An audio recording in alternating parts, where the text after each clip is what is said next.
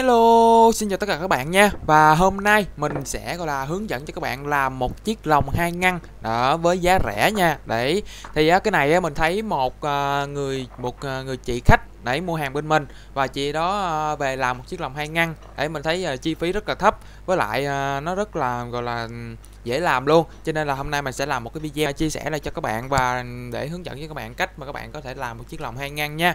Thì à, cái này á, là dành cho những bạn nào mà nuôi những bé hamster mà nó hay cắn nhau á hoặc là những bạn nào mà mới mua một con chuột về đấy mua một con chuột mới về đấy để chung với một con chuột cũ mà con chuột cũ ăn hiếp con chuột mới á thì các bạn có thể làm cái lồng hai ngăn như thế này và để hai con vào hai ngăn hai bên đấy và để nó làm quen từ từ thì nó sẽ gọi là à, không cắn nhau nữa nha đấy thì à, cái này chi phí nó rất là thấp luôn cho nên là những bạn nào mà rất là phù hợp những bạn nào mà không có chi phí nhiều á hoặc là những bạn nào mà làm biến đi ra shop hoặc là làm biến mua hàng chờ người ta gửi hàng về á thì các bạn có thể tự làm ở nhà luôn. Đó.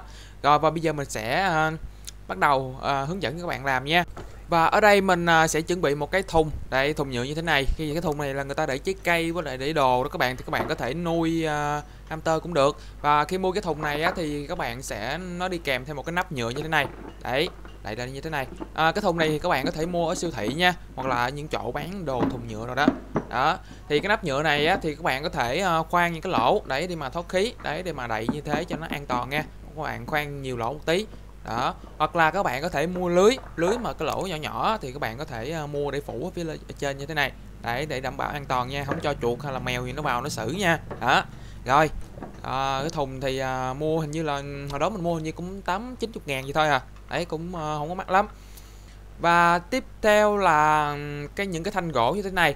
Những cái thanh gỗ này á, thì mình ờ, cắt ra từ cái que đè lưỡi nha các bạn. Đây một cái à, thanh que lưỡi lớn mình cắt ra những que nhỏ như thế này. Đây là những cái que lớn một tí mình sẽ làm cái khung à, cái khung của ờ, cái vách ngăn làm hai á.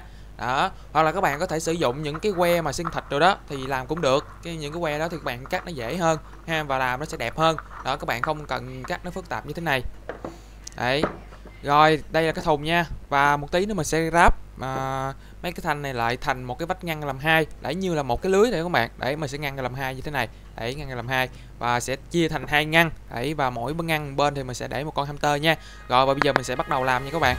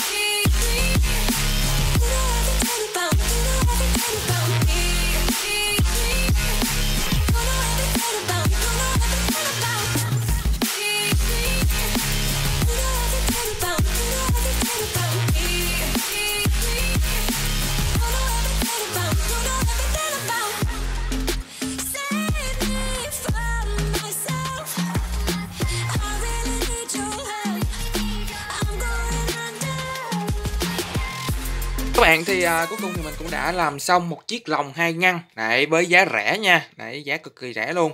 Thì à, mình à, làm nguyên cái khung này á, thì à, cái thanh đè lưỡi á, cái gỗ à, cái que đè lưỡi á, mình có sẵn. Đấy thì làm cái khung này chắc tốn khoảng à, một hai ngàn vậy thôi à. Đấy nói chung á là nó sẽ mất thời gian khá là nhiều. Nếu như mà bạn làm xong hoàn thành hết cái này với lại dán vô như thế này á, thì nó khoảng nửa tiếng thôi.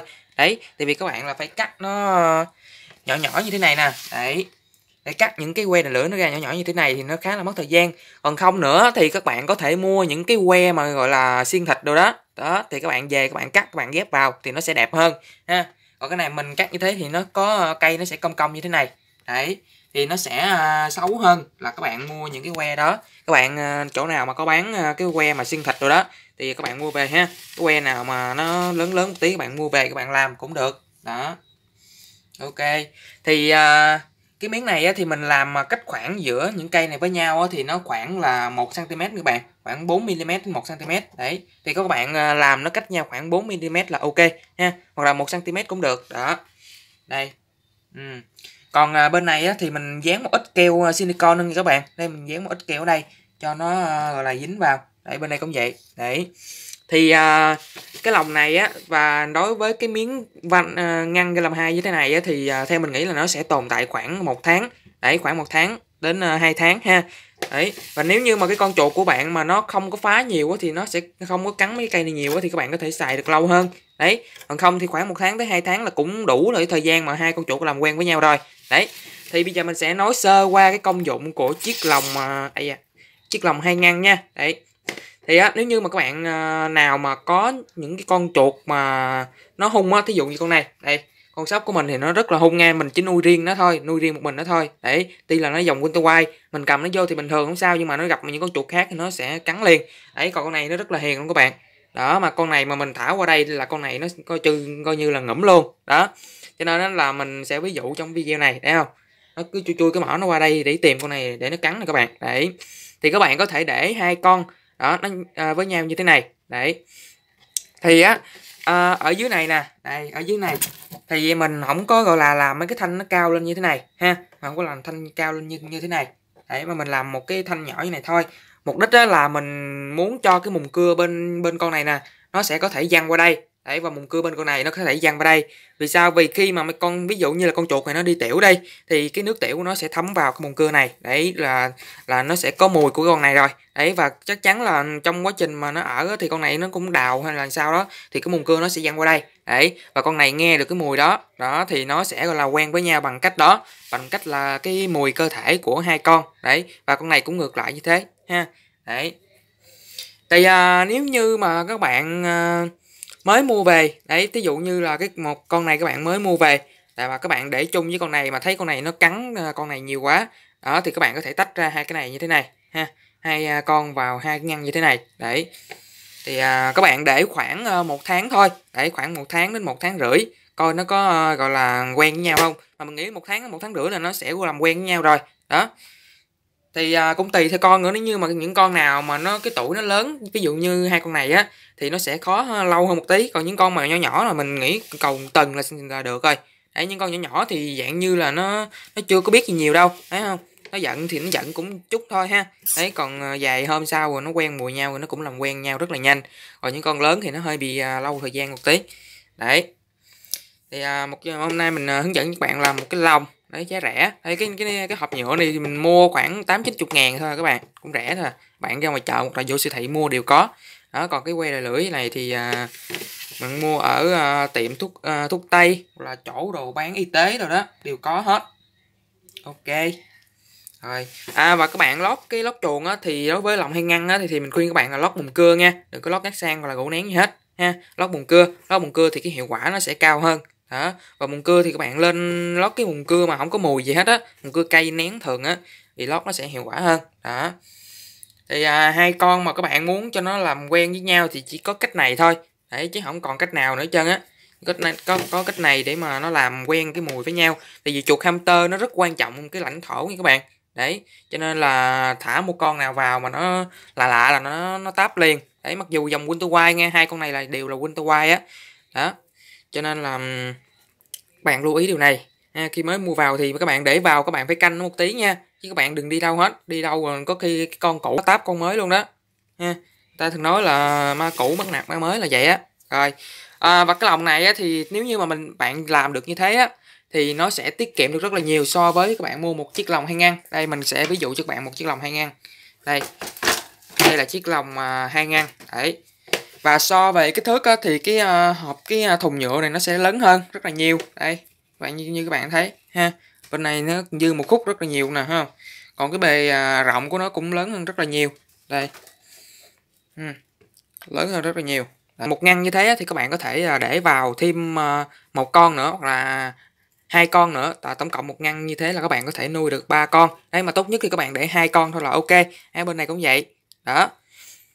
Rồi hoặc là hamster baby nó mới sinh ra đời á, thì các bạn có thể tách con đực bên đây, ha. Rồi con cái thì bên đây các bạn cho nó nuôi con bên đây. Đấy, cũng cũng được, đó. Còn không thì à, các bạn tách con đực ra một cái chuồng mới cũng được, mà các bạn nào không có chuồng thì các bạn có thể làm cách này cũng rất là ok. Đấy, này thì à, nói chung là tốn thời gian thôi, chứ à, cái chi phí nó không có nhiều. Rồi, thấy không? Con này nó rất là hung nha các bạn, rất là hung luôn. Ừ. nó gặp người ta là là nó táp à. Đấy, con bia mà mình đưa vào nó dám táp luôn á. Đó nhưng mà mình không dám để cho con bia vào cái chuồng của nó thì con con bia mà khi mà nó bị con nào cắn á, thì nó sẽ phản ứng được rất là mạnh. Đấy nó táp một cái là mấy con này chết luôn á. Nha các bạn lưu ý đừng có để con bia chung với con nào nha.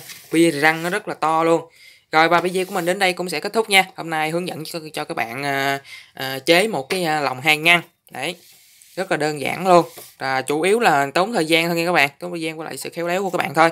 Rồi video của mình đến đây cũng sẽ kết thúc mà nếu như mà các bạn thấy hay thì đừng quên để lại cho mình một like cũng như là một subscribe để ủng hộ mình nha à mình quên nói nữa là cái thùng như thế này á các bạn làm cái chuồng như thế này á thì các bạn phải mua lưới nha. Mua lưới mà à, mua lưới nhỏ nhỏ các bạn đậy lại ha. Thứ nhất là nó an toàn mấy con này nó không có đào tẩu ra được. Thứ hai á là không có cái con chuột hay là con mèo gì nó vào nó ăn được nha. Đấy mình thấy có rất là nhiều bạn bị chuột cống hoặc là mèo đồ vào nó táp mấy con chuột của bạn đó.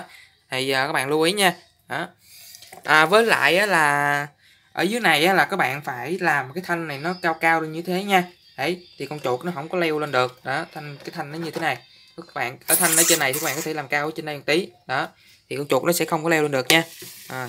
rồi, và video của mình đến đây cũng sẽ kết thúc và cảm ơn các bạn đã xem hết video này của mình. Rồi, xin chào các bạn và hẹn gặp lại. Nhớ like và subscribe để ủng hộ mình nha. Bye bye.